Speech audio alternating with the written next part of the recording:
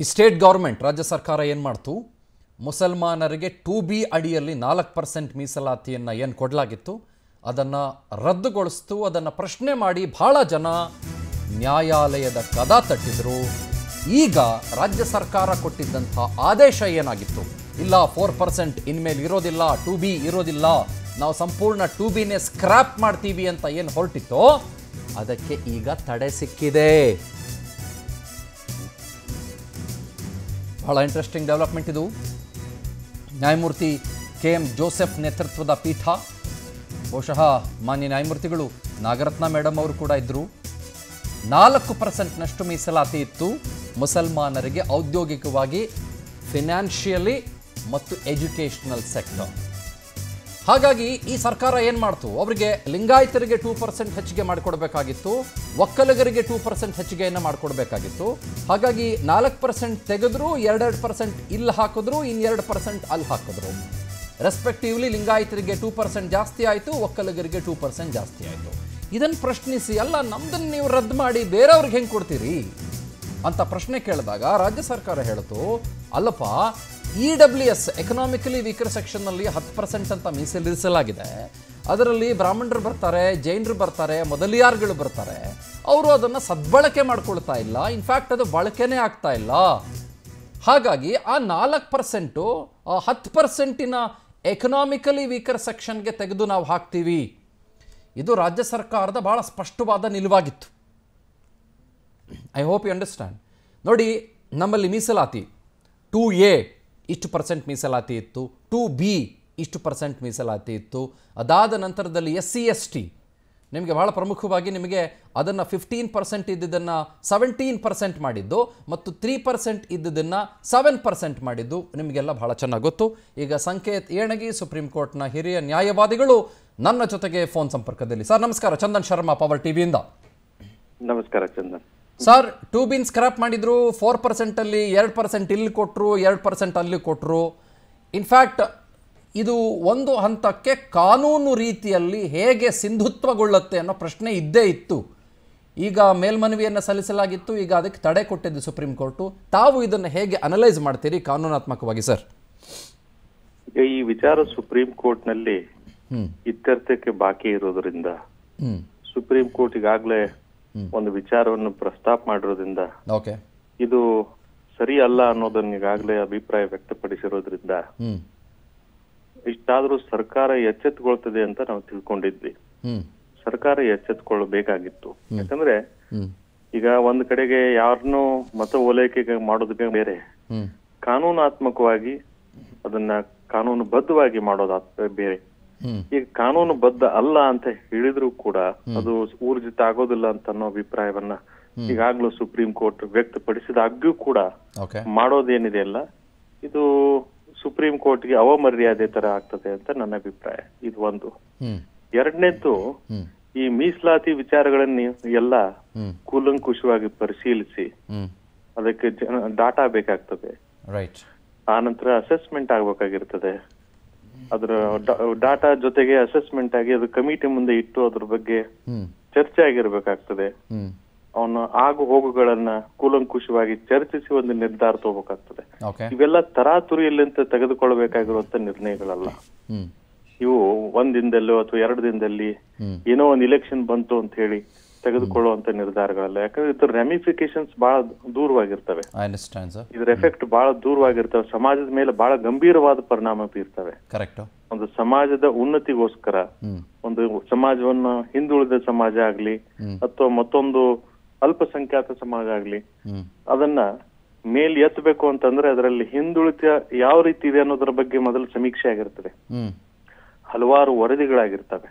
ವರದಿಯನ್ನ ಆಧರಿಸಿ ಹಂತ ಹಂತವಾಗಿ ಅದನ್ನ ಸಮಾಜದ ಕೆಳಸ್ತರದಿಂದ ಮೇಲ್ಸ್ತರಕ್ಕೆ ಎತ್ತರಿಸೋದಕ್ಕೆ ಪ್ರಯತ್ನ ನಡೀತಾ ಇರ್ತದೆ. ಆ ಪ್ಲಾನ್ ಅಥವಾ ಪ್ರಾಜೆಕ್ಟ್ ಯಾವ ರೀತಿ ನಡೀತಾ ಇರ್ತದೆ ಅದನ್ನ ಸಡನ್ ಆಗಿ ಸ್ಕ್ರಾಪ್ ಮಾಡಿಬಿಟ್ರೆ ಅದು ಕಂಪ್ಲೀಟ್ ಫೌಂಡೇಶನ್ ಕೊಲ್ಯಾಪ್ಸ್ ಆಗುತ್ತೆ ಮತ್ತು ಸಮಾಜದಲ್ಲಿ ಅಸ್ಥಿರತೆ ಉಂಟಾಗ್ತದೆ. ಆರ್ಥಿಕವಾಗಿ ಆಗ್ಲಿ ಶೈಕ್ಷಣಿಕವಾಗಿ ಶೈಕ್ಷಣಿಕವಾಗಲಿ. ಮತ್ತು ಸಾಮಾಜಿಕವಾಗಲಿ ಒಂದು ಅಸ್ಥಿರತೆ ಉಂಟಾಗ್ತದೆ. ಇಂಥ ವಿಚಾರಗಳಲ್ಲಿ ಸರ್ಕಾರ ಬಹಳ ಎಚ್ಚರಿಕೆಯಿಂದ ಯಾವಾಗಿದ್ರು ಹೆಚ್ಚಿಡಬೇಕು ಇದು ಒಂದೇ ಅಂತಲ್ಲ ನಾನು ಹೇಳ್ತಿದ್ದು ಒಂದೇ ಸರ್ಕಾರ ಅಂತಲ್ಲ. ಮೀಸಲಾತಿ ವಿಚಾರದಲ್ಲಿ.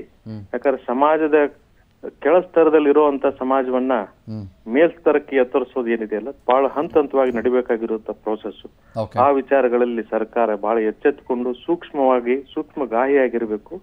ಮತ್ ಕಾನೂನುಬದ್ಧವಾಗಿ ನಡ್ಕೋಬೇಕಾಗಿತ್ತು ಅಂತ ನನ್ನ ಅಭಿಪ್ರಾಯ.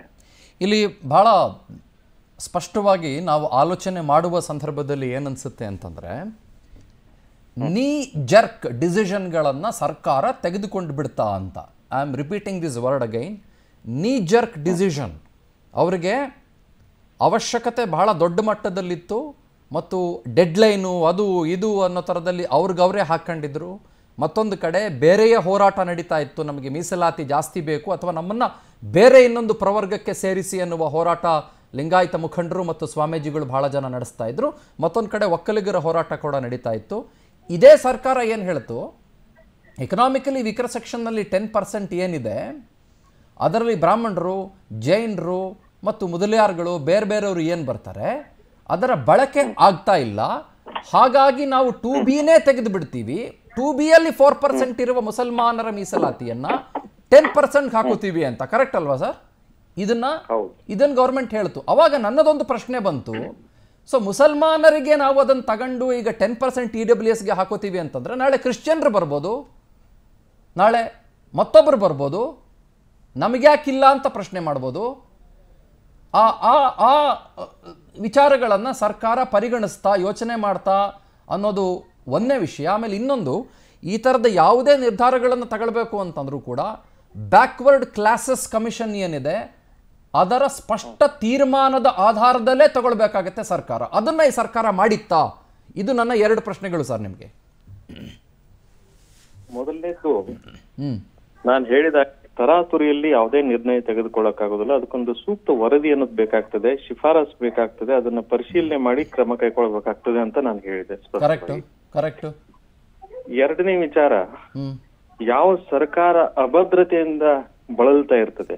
ಅಂದ್ರೆ ಇಲೆಕ್ಷನ್ ಚುನಾವಣೆ ಅಭದ್ರತೆ ಇರಬಹುದು ಅಥವಾ ತನ್ನ ಅಸ್ತಿತ್ವದ ಅಸ್ತಿತ್ವದ ಅಭದ್ರತೆ ಇರಬಹುದು ಅಥವಾ ಸಮಾಜದ ಒಂದು ಹಂತದ ಜನರನ್ನ ಕಳೆದುಕೊಳ್ಳುವಂತ ಅಭದ್ರತೆ ಇರಬಹುದು ಅಥವಾ ಅವ್ರನ್ನ ವಾಪಸ್ ಪಡೆದುಕೊಳ್ಳುವಂತದ್ದು ಏನಾದ್ರೂ ಪ್ರಯತ್ನದ ಅಭದ್ರತೆ ಇರಬಹುದು ಹಂಗಾಗಿ ಇದು ಅಂತ ಪರಿಸ್ಥಿತಿಯಲ್ಲಿ ಮುಂಗೋಪಿತನವನ್ನು ತೋರಿಸುವಂತ ಸಾಮಾನ್ಯ ಉದಾಹರಣೆಗಳು ಉಂಟು. ಇದೇ ಸರ್ಕಾರ ಅದೇ ಸರ್ಕಾರ ಅಂತ ಹೇಳೋದಲ್ಲ ಒಟ್ಟು ಯಾವುದೇ ಸರ್ಕಾರಗಳದ್ದು ನಾನು ಹೇಳ್ತಾ ಇರೋದು ಸಾಮಾನ್ಯವಾಗಿ. ಈ ಕೇಸ್ಗಳಲ್ಲಿ ಏನಾಗ್ತದೆ ಅಂತಂದ್ರೆ ಎರಡು ಕ್ಲಾಸಿಫಿಕೇಶನ್ಸ್ ಬರ್ತವೆ. ಒಂದು ಎಕನಾಮಿಕಲಿ ವೀಕರ್ ಸೆಕ್ಷನ್ ಅಂತ ನಾವು ಏನ್ ಹೇಳ್ತೀವಲ್ಲ ಸೋಶಿಯೋ ಎಕನಾಮಿಕ್ ಬೇಸ್ ಮೇಲೆ ಇರುವಂತದ್ದು ಕ್ಲಾಸಿಫಿಕೇಶನ್ ಅದ್ರ ಮೇಲೆ ಯಾರಿಗೆ ಕೊಡ್ಬೇಕು ಯಾರಿಗೆ ಕೊಡಬಾರ್ದು ಅಂತ ಹೇಳಿ. ಅಂಡರ್ಸ್ಟ್ಯಾಂಡ್ ಒಂದು ಇನ್ನೊಂದು caste based reservation system caste based ಅಂತಂದ್ರೆ ಅದು ಸಪರೇಟ್ ಬೇರೆ. ಅದನ್ನ ಇದನ್ನ ಎರಡು ಬೇರೆ ಬೇರೆ ಕಡೆ ಇರೋದ್ರಿಂದ ಒಂದೊಂದನ್ನು ಹೋಲಿಕೆ ಮಾಡೋದಕ್ಕೆ ಬರೋದಿಲ್ಲ. ಅದರ ಆಧಾರ್ ಸ್ತಂಭನೆ ಬೇರೆ ಇದರ ಆಧಾರ್ ಸ್ತಂಭನೆ ಬೇರೆ. ಒಂದನ್ನು ತೆಗೆದುಕೊಂಡು ಇನ್ನೊಂದು ಕಂಪಾರ್ಟ್ಮೆಂಟ್ನಲ್ಲಿ ಹಾಕೋದಕ್ಕೆ ಬರೋದಿಲ್ಲ. ಇದು ಮಾಡಿರೋ ಕಂಪಾರ್ಟ್ಮೆಂಟಲೈಸೇಷನ್ ಅಂತ ಏನಿದೆ? ಕ್ಲಾಸಿಫಿಕೇಶನ್ ಅಂತ ಏನಿದೆ? ಇದು ನ್ಯಾಯಸಮ್ಮತವಾದದ್ದಲ್ಲ ಅದು ಅನೂರ್ಜಿತ ಆಗ್ತದೆ ಅಂತ ನನ್ನ ಅಭಿಪ್ರಾಯ. At the same point in time ಇನ್ನೊಂದು ಮಾತು ಕಾನ್ಸ್ಟಿಟ್ಯೂಷನಲಿ ಸ್ಪೀಕಿಂಗ್ ಧರ್ಮಕ್ಕೆ ಸಂಬಂಧಪಟ್ಟಂತ ಮೀಸಲಾತಿಯೇ ಇಲ್ಲ ಅನ್ನೋ ಚರ್ಚೆ ಕೂಡ ಬರುತ್ತೆ. ಅದಕ್ಕೆ ತಾವೇನಂತೀರಿ ಸರ್?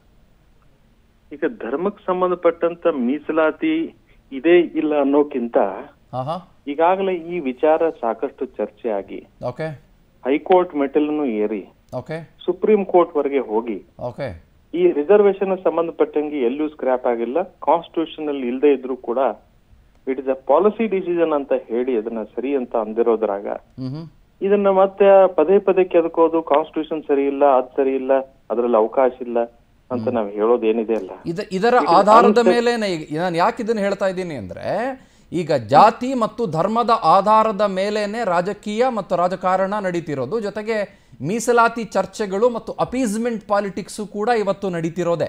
ಈಗ ಬಿ ಜೆ ಪಿ ಸರ್ಕಾರ ಕಳೆದ ಕೆಲವು ದಿನಗಳ ಹಿಂದೆ ಏನು ಮಾಡ್ತು, ನಾವು ಎರಡು ಪರ್ಸೆಂಟ್ ಹೆಚ್ಚಿಗೆ ಹಾಕಿ ಕೊಡಲಿಲ್ಲ ಅಂತಂದರೆ ಎಲ್ಲಿ ನಮ್ಮ ವೋಟ್ ಬ್ಯಾಂಕಿಗೆ ಹೊಡೆತ ಬೀಳುತ್ತೋ ಅಂತ ಒಂದು ಕೆಲಸ ಮಾಡ್ತು. ಇನ್ನೊಂದು ಎರಡು ಪರ್ಸೆಂಟ್ ಇನ್ನೊಬ್ಬರಿಗೆ ಜಾಸ್ತಿ ಮಾಡಿಕೊಡ್ಲಿಲ್ಲ ಅಂತಂದರೆ ನಮಗೆಲ್ಲಿ ಹೊಡೆತ ಬೀಳುತ್ತೋ ಅಂತ ಇನ್ನೊಂದು ಕೆಲಸ ಮಾಡ್ತು. ಅದರ ಜೊತೆಗೆ ನಾವು ಟೂ ಬಿನೇ ಸ್ಕ್ರ್ಯಾಪ್ ಮಾಡಿಬಿಟ್ರೆ ನಮಗೆ ಮತ್ತೂ ಎಲ್ಲಿ ಹೊಡೆತ ಬೀಳುತ್ತೋ ಅಂತ ನಾವು ಸ್ಕ್ರ್ಯಾಪ್ ಮಾಡಿರ್ಬೋದು ನಿಜ, ಆದರೆ ಅದನ್ನು ಇ ಡಬ್ಲ್ಯೂ ಎಸ್ಗೆ ಹಾಕೊಂಡ್ವಿ ಅಂತ ಅದನ್ನು ಸಮಜಾಯಿಷಿ ಕೊಡುವ, ಅದನ್ನು ಬ್ಯಾಲೆನ್ಸ್ ಮಾಡುವ ಪ್ರಯತ್ನಕ್ಕೆ ಸರ್ಕಾರ ಕೈ ಹಾಕ್ತು. ನಾನು ಎಲ್ಲ ಸರ್ಕಾರಗಳ ಬಗ್ಗೆ ಮತ್ತು ಎಲ್ಲ ಪಕ್ಷಗಳ ಬಗ್ಗೆ ಮಾತಾಡ್ತಾ ಇದ್ದೀನಿ. ಇಟ್ ಈಸ್ ಆಲ್ ಅಬೌಟ್ ಇದನ್ನು ಮಿಠಾಯಿ ಹಂಚೋ ಥರ ನೀವು ಮೀಸಲಾತಿಯನ್ನು ಹಂಚೋಕ್ಕಾಗಲ್ಲ ಅಲ್ವಾ ಸರ್? ತಗಳಪ್ಪ, ನಿನಗೆ ಮೈಸೂರು ಪಾಕು, ನೀನು ತಗಳಪ್ಪ ಅರ್ಧ, ನೀನು ತಗಳಪ್ಪ ಕಾಲ್ಭಾಗ ನೀನು ತಗಳಪ್ಪ ಒಂದೇ ಒಂದು ಸ್ಪೂನು ಅಂತ ಈ ಮೀಸಲಾತಿಯನ್ನು ಹಂಚೋದು ಹೆಂಗೆ sir? How is it even possible ಇದು ನನ್ನ ಪ್ರಶ್ನೆ ನಿಮಗೆ. ಒಂದು ಉದಾಹರಣೆ ಕೊಡ್ತೀನಿ ಉದಾಹರಣೆ ಸಮೇತ ಇಷ್ಟಪಡ್ತೇನೆ. ಹೇಳಿ. ಈಗ ಲೈಸೆನ್ಸ್ ಅಂತ ಕೊಡ್ತಾರೆ ಡ್ರೈವಿಂಗ್ ಲೈಸೆನ್ಸ್. License ಕೊಡ್ತಾರೆ, ಆ ಲೈಸೆನ್ಸ್ ಲರ್ನಿಂಗ್ ಲೈಸೆನ್ಸ್ ಕೊಡ್ಬೇಕಾದ್ರೆ ಅದಕ್ಕೊಂದು ಕಾಲಮಿತಿ ಅಂತ ಕೊಟ್ಟಿರ್ತಾರೆ. ಅಂದ್ರೆ ಅದ್ರ ಜೊತೆಗೆ ಒಂದು ಕಂಪಲ್ಸರಿ ಒಂದು ಗೈಡ್ ಲೈನ್ ಇರ್ತದೆ ಈ ಲರ್ನಿಂಗ್ ಲೈಸೆನ್ಸ್ ನವ್ರು ಇದ್ದವ್ರು ಓಡಿಸ್ಬೇಕು ಅಂತಂದ್ರೆ ಗಾಡಿ ಅದ್ರ ಪಕ್ಕಕ್ಕೆ ಡಿ ಎಲ್ ಅಂದ್ರೆ ಫೈನಲ್ ಲೈಸೆನ್ಸ್ ಇದ್ದವ್ರು ಒಬ್ರ ಪಕ್ಕಕ್ಕೆ ಇರಬೇಕು ಅಂತ. ಅಂದ್ರೆ ಒಂದು ಅವ್ರಿಗೆ ತರಬೇತಿ ಕೊಟ್ಟಂಗಾಗ್ತದೆ ಮತ್ತೆ ಇನ್ನೊಬ್ರು ತರಬೇತಿ ಪರಿಣಿತರ ಅವ್ರ ಪಕ್ಕಕ್ಕೆ ಇರ್ತಾರೆ ತಪ್ಪಾಗ್ಲಾರ್ದಂಗೆ ನೋಡ್ಕೊಳ್ಳೋದಕ್ಕೆ ಅಂತ. ಇದೇನಾಗ್ತದೆ ಈ ಲರ್ನಿಂಗ್ ಲೈಸೆನ್ಸ್ ನವರು ಪಕ್ಕಕ್ಕೆ ಪಕ್ಕಾ ಲೈಸೆನ್ಸ್ ಇಲ್ಲದೆ ಇದ್ದವ್ರಾಗ ಅಂತ ಸಂದರ್ಭದಲ್ಲಿ ಹೈವೇಗೆ ಬಂದಾಗ ಯಾವ ರೀತಿ ಎಡವಟ್ಟುಗಳು ಆಗ್ತಾವೋ ಡಿಸಿಷನ್ ಮೇಕಿಂಗ್ ದಲ್ಲಿ ಆ ರೀತಿ ಎಡವಟ್ಟಾಗಿರೋದು ಇದು.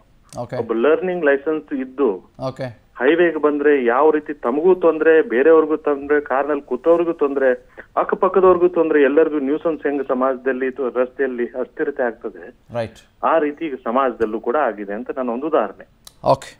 ಇದರಲ್ಲಿ ಎಲ್ಲಾನು ಬಂದ್ ಹೋಯ್ತು ಅಂತ ಅನ್ಕೊಂತೀನಿ. Okay let's see how it go sir thank you very much sir for joining